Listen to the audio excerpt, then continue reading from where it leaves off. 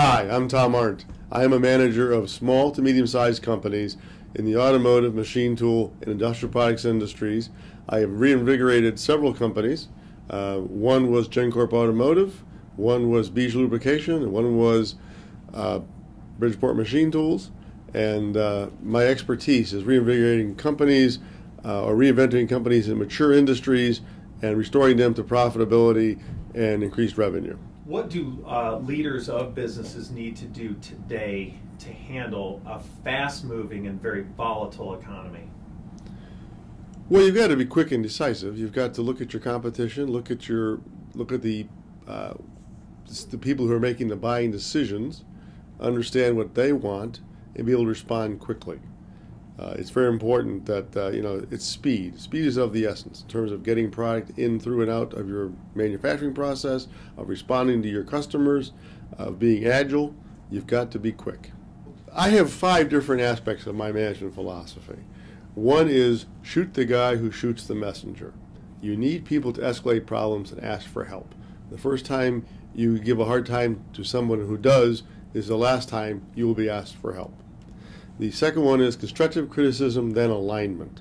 Uh, by that I mean you should go through all of your ideas with your staff, but once you decide the course of action, the staff has to be aligned and function as a team.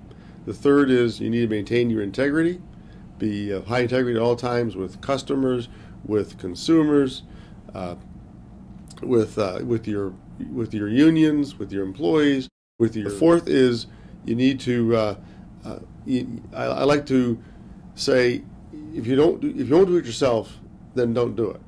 If an operation is not safe and you wouldn't do it, why should somebody else do it? If it's hard work to do a budget and you won't do it, why should somebody else do it? And last but not least, it has to be fun. Your team has to have a good time. You have to feel like you're making progress. Doesn't mean every day is a party, but it means over the long haul, you feel like you're growing as a person, you're growing as a company, and you're progressing as a group. Well, lean basically means you make what the customer wants when he wants it. You don't make 50 if he wants five.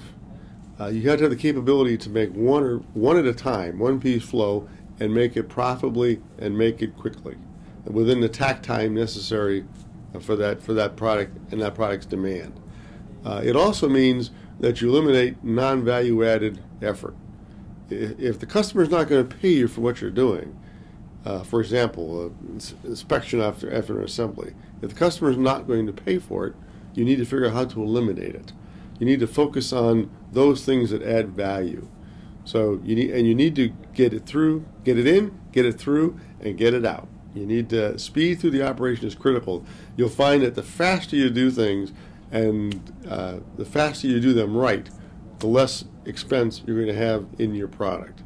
So it's a function of those three principles it really makes a difference in terms of lean manufacturing.